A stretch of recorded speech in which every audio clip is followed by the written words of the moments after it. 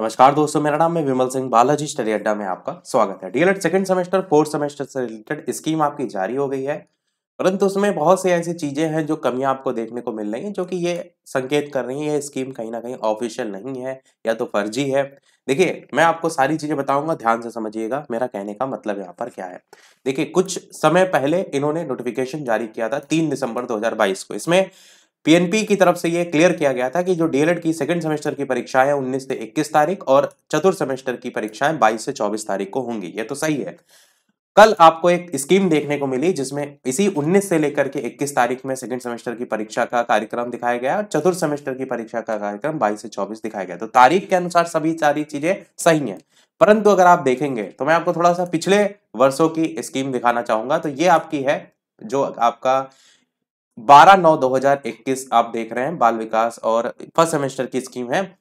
जब भी स्कीम जारी होती है तो जितने जिस भी सेमेस्टर की परीक्षा होती है, उसके साथ साथ जो अवशेष बैच होते हैं, उन सभी को भी शामिल किया जाता है, जो कि इस स्कीम में शामिल बिल्कुल भी नहीं किया गया है। और साथ ही साथ अवशेष के साथ साथ बैच छात्र भी शामिल होते हैं, वो तो आप यहाँ पर देख ही रहे साथ ही जो भी स्कीम होती है, उसके नीचे आपका सचिव परीक्षा नामक प्राधिकारी जो होते हैं, उनके साइन होते हैं वेरीफाई होती है वो स्कीम और यही स्कीम अगर आप देखेंगे तो दूसरे सेमेस्टर की यहाँ पर भी है, वर्तमान भारतीय समाज यानी सेकंड सेमेस्टर की। इसमें भी आप नीचे देखेंगे तो साइन और वेरीफाई होता है और यहाँ पर आप देखेंगे तो सभी बैच इंक्लूड किए जाते हैं।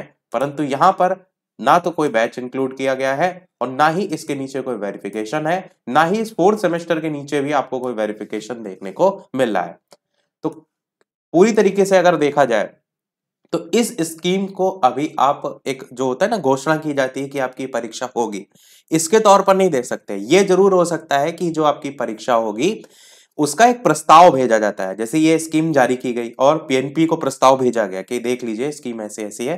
तो ये संभावना ज़रूर हो सकती है कि ये प्रस्ताव में भेजी गई स्कीम का एक प्रोफार्मा हो सकता है। इसको जब भी आपका जो पीएनपी सचिव है, वो अप्रूवल देंगे। तो इस तरीके का एक नोटिफिकेशन निकलेगा। इस नोटिफिकेशन में आपके स्कीम के साथ साथ सभी परीक्षा संबंधी दिशा निर्देश भी होते हैं, जो कि आप इस नोटिफिकेशन में देख रहे हैं। और इसमें सभी दिशा निर्देश लिखे होंगे, सारे बैचों को शामिल लिखा होगा, और कब से कब परीक्षा होगी, परीक्षा के लिए क्या क्या सुविधाएँ रखी जाए डबल लॉकर में पेपर रखे जाए, इन सारी के साथ साथ नीचे वेरीफाई भी होगा, और उसके बाद इसी में ही स्कीम अटैच करके दी जाती है।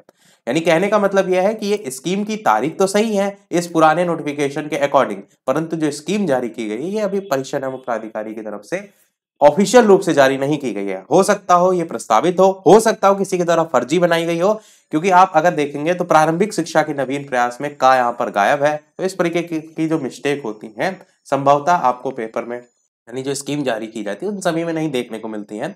बाकी अगर देखिए समय सारणी की बात करें तो ये सही दिया गया है समय सारणी। जैसे आपको पता है कि अब आधा घंटा का गैप का कर दिया गया है जैसे तीसरा प्रश्न पत्र साइंस का आप देखेंगे, बीस तारीख को है, दस से ग्यारह बजे।